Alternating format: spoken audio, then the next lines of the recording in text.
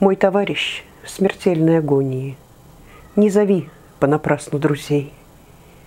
Дай-ка лучше согрею ладони я Над кипящую кровью твоей. Ты не плачь, не кричи, ты не маленький, ты не ранен, ты просто убит. Дай-ка лучше сниму с тебя валенки. Нам еще наступать предстоит.